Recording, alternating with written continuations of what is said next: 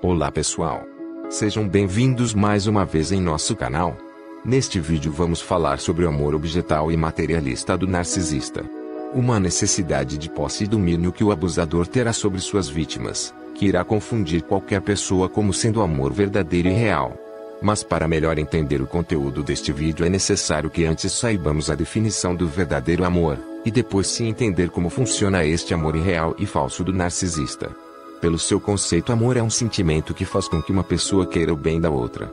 Demonstração de carinho e afeto que vai se desenvolver entre pessoas que possuem esta capacidade.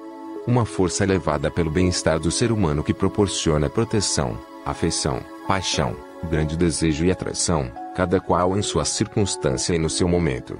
Certamente quando você dá início a um novo relacionamento, seu conceito será de que, arrumei uma nova namorada, ou arrumei um novo namorado, ou melhor, estou conhecendo um novo amor. Isto irá sempre ocorrer entre pessoas saudáveis e conscientes. Mas para o narcisista a visão e o conceito sobre o amor será completamente outro. A pessoa narcisista já vai entrar na relação com a intenção de que está acabando de conhecer e adquirindo um novo objeto. Sabemos que existem objetos que muito representam para algumas pessoas ou famílias, talvez pertenceu a um ente querido no passado. Os quais nunca serão desfeitos e esquecidos, pelo valor sentimental que representam. Mas nem esse objeto precioso e valioso narcisista verá em você. Para ele você será um objeto descartável que irá servir apenas por um tempo e livre de qualquer sentimento.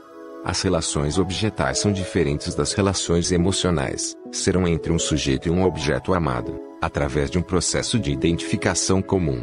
Esta condição apenas contribui para o desenvolvimento do ego do narcisista, pois é a única coisa que ele espera de você. O amor objetal é aquele sentimento imediatista e materialista, Nessas condições você vai ser vista também como objeto pelo narcisista ou algo de estimação. Vejamos exemplos de amor objetal. Meu filho ama pizza, minha prima ama ir à praia, eu amo a época do frio. Meu filho ama aquele carrinho de brinquedo. Não trata-se de amor, mas sim de um desejo ou preferência por algo que lhe favoreça. Este será o amor objetal que o narcisista terá por você. O pior dentro dessa questão é que o narcisista acredita que ama e assim confunde a vítima com esse falso amor. Será comum você ouvir vítimas de narcisistas dizerem: Meu parceiro é rude, nervoso, tem momentos de fúria, mas ele me ama muito. Ou seja, justo aquilo que o narcisista não tem, que é amor. A vítima dirá ter. O narcisista ama apenas aquilo que você possui ou possa oferecer a ele como vantagem. Ele vai amar a sua passividade, a sua submissão e a sua paciência. Será um amor sobre aquilo que você pode oferecer de forma material em detrimento do seu estado emocional. O narcisista vai chegar como salvador da pátria e sua bandeira principal será esta de falso amor, objetal e transparente. Sou a solução de todos os seus problemas. Sou a realização de todos os seus desejos. O amor dos contos de fadas. Eu sou narcisista perverso. Mas prefiro que você me chame de amor mas no fundo são agressores psicológicos de primeiras categoria, vampiros emocionais, manipuladores compulsivos e sanguessugas. As pessoas empatas, com baixa autoestima, que acabaram de sofrer alguma perda e que se encontram fragilizadas. Pessoas que estão à procura do amor perfeito. Essas são características comuns das vítimas selecionadas pelos narcisistas, que vão dizer: encontrei o objeto perfeito de manipulação. Nos relacionamentos com narcisistas a troca de cuidados e desejos não será possível. O narcisista só recebe. O egoísmo é patológico. A demanda é infinita e desenfreada. A inveja do narcisista é um componente que inevitavelmente vai existir na relação, e estará lançada uma disputa e não uma troca. O amor objetal estará ligado apenas na manipulação que passará a ser seu instrumento de trabalho. A mente do narcisista perversa e vazia. Não há sonhos, projetos. Não há um eu verdadeiro por detrás da máscara. Tudo que ele apresenta são ideias roubadas, sonhos roubados, energia sugada. Suas vítimas se veem amarradas, onde suas vidas são sequestradas. O narcisista joga contra a verdade a todo tempo. Todo o seu comportamento, seus valores e ideias serão trocados.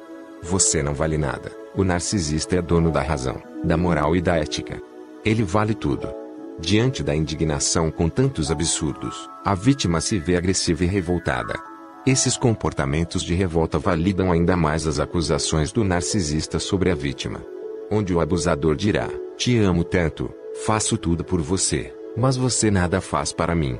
Essa será uma tentativa de inverter os papéis. Exatamente por não serem pessoas reais que os narcisistas mentem com tanta facilidade sobre tudo. Eles inventam personagens de acordo com a conveniência e vivem como se fossem esses personagens inventados. Nem mesmo a família dessas pessoas as conhece de verdade. Estes familiares sabem que há algo errado ou estranho, mas não sabem do que são capazes. Pelo contrário, por causa do afeto que sentem, com frequência os apoiam e se tornam seus facilitadores. Até o sentimento de amor com os familiares será falso e objetal. Não é fácil fingir ser quem você não é. Mais difícil ainda, fingir sentimentos que você é incapaz de sentir. É um esforço enorme e por isso, frequentemente cometem deslizes que aos olhos de alguém bem treinado e com boa autoestima, são claros sinais de que estão lidando com um transtornado mental. O problema é que o típico alvo de narcisistas são pessoas românticas e empáticas, que acreditam nas pessoas, aquelas que normalmente saíram de relações sofridas e cultivam sonhos de um amor verdadeiro. No mundo de fantasia de um perverso narcisista, tudo é justificado para que eles obtenham o que desejam e lhes convém, e jamais vai se preocupar com as consequências que irão causar. Dentro deste suposto relacionamento afetivo, você vai se deparar frequentemente com características do parceiro que trazem à tona conflitos, questionamentos e principalmente dor. É comum que em todos os relacionamentos existam diferenças que causem algum tipo de atrito ou desconforto, mas especificamente quando nos envolvemos com narcisistas, devido à sua incapacidade de amar e de criar vínculos, as coisas podem mudar de cena, motivando inúmeros prejuízos e destrutividade. As suas narrativas possuem um tom de grandiosidade, tendem a desprezar ou diminuir o valor de outras pessoas, buscando destaque e admiração. A relação costuma evoluir para uma dinâmica muito destrutiva no sentido que, para manter-se superior e em evidência, desvaloriza seu parceiro distorcendo situações. Nessa dinâmica fortemente marcada pela desigualdade na capacidade de amar, fica claro que o que permeia a relação é um sentimento mútuo de dependência. Por um lado, alguém com delírios de grandiosidade que não conhece os conceitos de amor, troca e parceria. Por outro, alguém com baixa autoestima na posição de submissão e na busca incansável por reconhecimento do abusador. Para romper esse ciclo, não há outro caminho a não ser um corte rápido, limpe por inteiro em qualquer contato que se tenha com esse tipo de gente. Enquanto você não tomar essa atitude, o abusador estará ali presente, dizendo tudo aquilo que você deseja ouvir, mentindo amor até quando não restar mais nada da pessoa que você é. Obrigado por assistir. Se você gostou, curta o vídeo, compartilhe e deixe o seu comentário.